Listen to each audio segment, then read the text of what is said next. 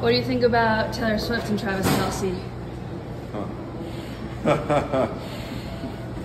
if they're happy, I'm happy. Love that for the Swifties. All day. They're dating. They are for sure. She wouldn't hold his hand in public like that. There's no way. She was hanging out with her mom. So a lot of jerseys. Bill Belichick's comment on that, so that's definitely one of my favorite comments I heard about that, and uh, stick with them. They're so happy for them. I know. Yeah. Love is love. Seems like a really good couple. Exactly. Her and the mom seem to hit it off. So Yeah, I wish she was, she was dating his other brother. I think he's the man. Although he is a good looking dude.